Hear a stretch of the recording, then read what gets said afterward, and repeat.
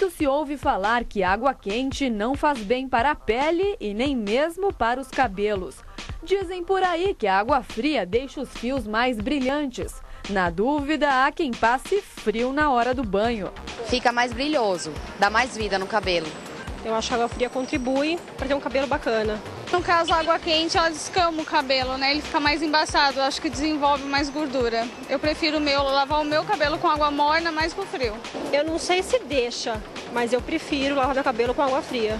Acho que a água quente, ela resseca muito o cabelo.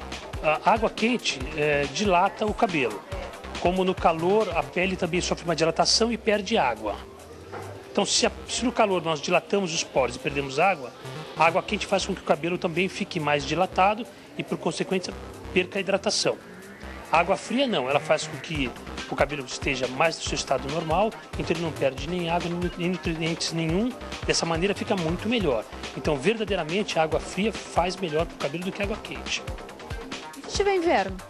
No inverno, o que a gente faz? Que a pessoa lave com água morna, mas antes de o último enxágue, faça com água um pouco mais fria, que com certeza melhora. As pessoas com mais idade sempre procuram tomar o banho mais frio, porque verdadeiramente faz melhor para a pele, para o corpo, para a saúde, inclusive para a saúde do cabelo.